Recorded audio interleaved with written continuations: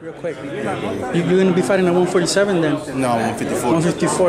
Okay, who's the best 154 right now? There's Jermell Charlo, there's Jarrett Hurd. Charlo? Charlo, A, lot- a lot of people want to see that matchup. Um, Hurd and Charlo. What do you think, man? At 154, what happens? Uh, I got Charlo, man. Yeah, What- he's he's a what- monster. What's going to separate him? Like, what's going to separate him? Because Hurd's big, Charlo has power. What's going to separate them when, when they meet? Like, Well, I don't know. Hurd, Hurd, Hurd he's solid too, man. And he used that distance well. And, uh, but I don't know. We still haven't seen Charlo uh, go the full distance, and uh, we don't know if he might fade away in later rounds. So we'll, it'll be an interesting fight. You know, Yeah. I look forward to that fight actually.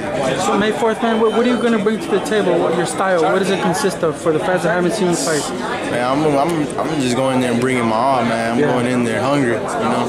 So I'm going in there. Uh, if the knockout comes, it comes. But Yeah. I'm going there smart and, uh, you know, do everything I've I've practiced in camp. You know, I'm ready. Was there a fighter in particular, aside from your brother, that, that maybe you watch and try to kind of take take things from him or whatnot? Like, Yeah, um, I watch a lot of old school fights. You know, I watch uh, Tommy Hearns and uh, I watch uh, Tito Trinidad and uh, a lot of them old school fighters. yeah. Have you met Oscar yet? Have you met him now? No, I haven't. You haven't met him yet? Nah. Are you anticipating that, having to meet him? Like, like, Yeah, I mean, if it comes, it comes. You know, like all this, this is new to me. All this cameras and stuff. yeah, yeah. At the end of the day, I'm not gonna let the fame and all that get to me. You know. Yeah. I'm gonna stay the humble person that I am. You know. you're handling it with um, maturity. Yeah. Um, tell the fans where to follow you. Uh, follow me uh, on Instagram, Twitter, uh, Snapchat.